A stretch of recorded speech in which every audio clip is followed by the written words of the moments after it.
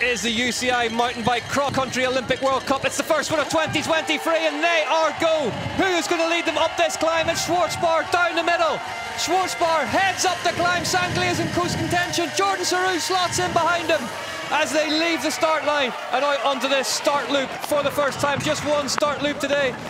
And there's drama at the back already. Here in the back of the field.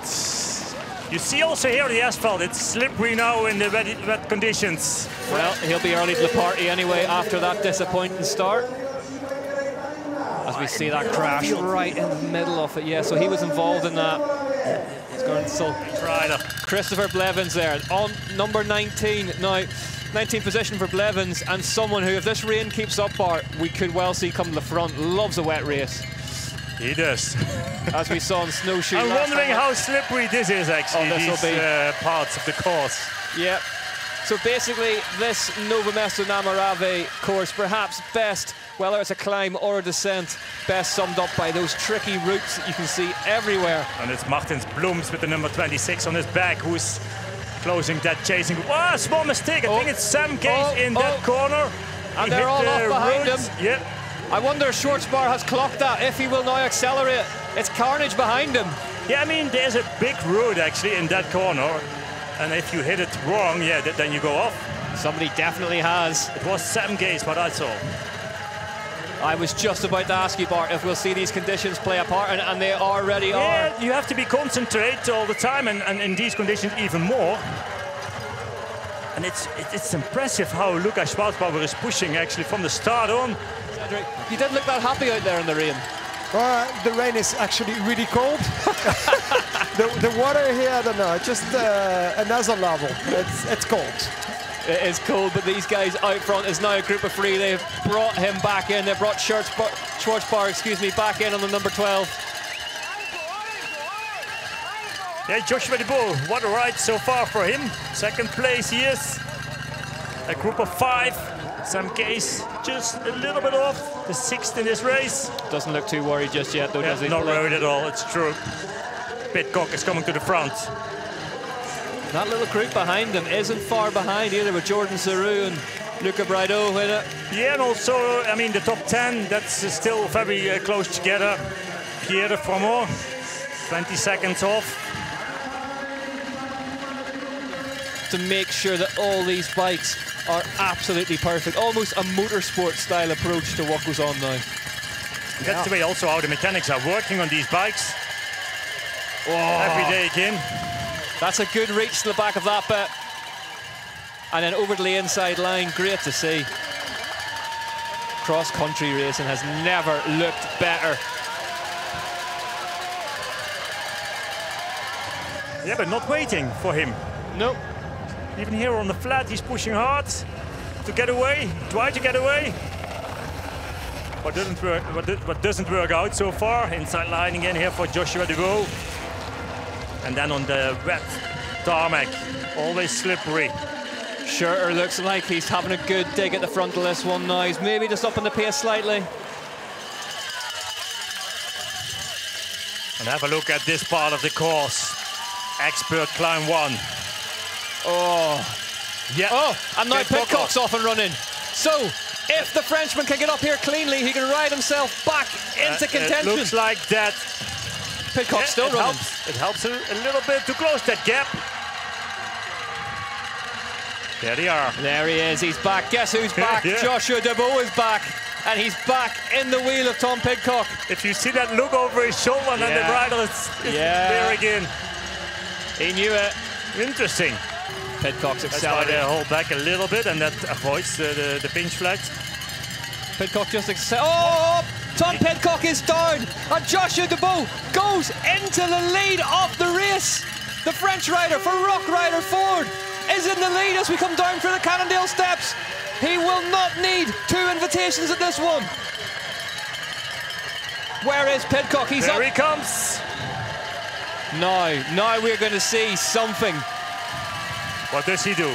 Joshua Dubau leading this race. Bart, as a racer, what do you do now?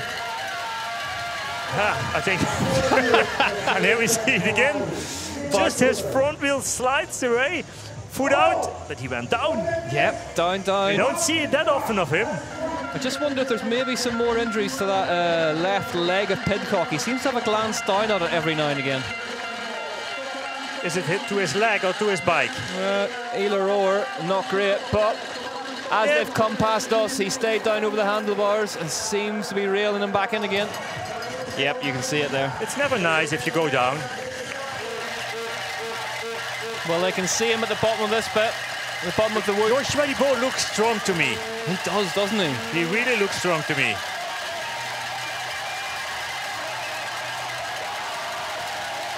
Listen to the noise. One of the noisiest crowds off the UCI Mountain Bike World Series. Probably he has taken some uh, gels with him, maybe what we haven't seen when he was taking it. But at least Oh, he's been busy, Bart. he has been thinking about it. He's had a busy afternoon as they head out onto the final lap I mean, now. in these conditions, probably it's not a problem for most of the riders because you don't drink that much, but at least you need to have your, your sugars, your fast sugars, your energy for, for the last few laps. But uh, for Joshua Bo, it seems to be that it's not necessary today. But I think we uh, when it comes down to a sprint, you know as well how strong Thomas Pidcock is. Yep, but as we He's said, almost unbeatable. Yeah. as we said to Bo, riding with this kind of confidence in for this rock section for the last time. Safely does it. I think Joshua Bo has to be in the first position when it comes. Well- it has to be on that turning point Yeah, yeah, with one yeah. kilometer to go. That sign. Well, That Pidcock, last Pidcock maybe climb. showed his hand at that short track race in the post-race interview where he said it was whoever made that left-hander into the arena first was always going to win it, and maybe that's all Dubau needs to all in. But he needs to know which tactics he has to use. Quiet day for the mechanics on the right-hand side there, but they have a ringside seat to this. Now There he Pidcock goes. Now Pidcock goes. Is it going to be enough? Has Tom Pidcock played cat and mouse long enough for Joshua Dubau? Can Dubau punch back? He does. It looks like he can, Bart. It looks like he's got this one covered. Pidcock looks round. He's still there. He's still there. He's still there. That one didn't work. He's strong. He's got the first position, but he's not. Crucially, he has not dropped Joshua Dubau. No, but to, to be in the right position, not over here, but a little bit further on the top of the next climb, the last climb of this course. Crucial. Crucial. And Yes. just, yep, look. Very just slow in that Stalling corner. a little bit in that corner, whatever's in there. Tom Pidcock doesn't like it. I'm, wondering if they're taking uh, different lines now at the bottom. Yeah, we'll have options. to see now. Inside, outside. Who's going to go where? Oh, this one is fascinating. Both inside. Ringside seats. Both inside. There's still a little bit of space to overtake each other, but it comes down. Pidcock go in now. Yeah, yeah, another Yeah. sprint of him to the top of this climb. A little bit of a gap. Not that much, but it's It's opening. It is opening on Dubau.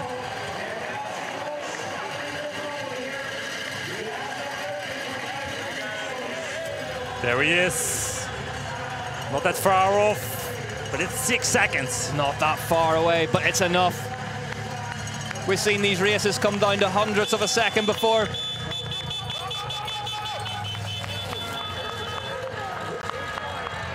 Pidcock down over the jumps, throws the back end out. Why not? He's done enough today. Tom Pidcock rounds the right-hander on the way into the Vysočina Arena. Joshua Dubau takes the same corner. Pidcock checks over his shoulder. The rain continues to fall. Here in Nove Mesto na Morave, Tom Pidcock, he had to do this one the hard way. And it was a man he wouldn't have been expected to. Who was asking him the questions? He rounds the left, the long left-hand corner. And a breathless day of racing in Nove Mesto na Morave comes to an end with Tom Pidcock winning five on the bounce, taking the hat trick of elite World Cup cross country Olympic wins. He celebrates, never in doubt. Tom Pidcock takes the win in the Czech Republic at round one, straight off the bike. Tom Pidcock, that is how you do it. Joshua Dubau, the ride of his career. Asked so many questions of Tom Pidcock. Pidcock ultimately, though, had The the, answers. for And third behind him, place. Sarrou. Oh, Nino Schurter took it. Sarrou could not do enough to beat Nino Schurter. Schurter third on the podium. Joshua Dubau has to be filled in as to what just happened. Uh, yeah, today was a hard race, honestly. Uh, the conditions were super tricky, you know. We haven't ridden at all in the rain. Uh, short track, but you know, there's no roots in that race. Um, so yeah, it was, it was, tricky. I think my tyres were a bit hard. I was uh, struggling a bit for on the on the roots, but uh, yeah, it's nice to uh, to win in the end. Tom Pidcock then from the UK, nine Andorran resident, riding for the Ineos Grenadiers, wearing the European Champions jersey. Makes it two wins in the weekend in the short track and then the cross country Olympic. A hat trick of wins here in Nove Mesto, na Morave for him. Five on the bounce if you include the under 23 races. Right then, let's take a look at what that does for the overall. Thomas Pidcock, 330 points to the good. Joshua Dubau in second, 111 back off of Nino Schurter third, Jordan Sarrou fourth, Lucas Schwarzbauer up into fifth, just 150 off Tom Pidcock.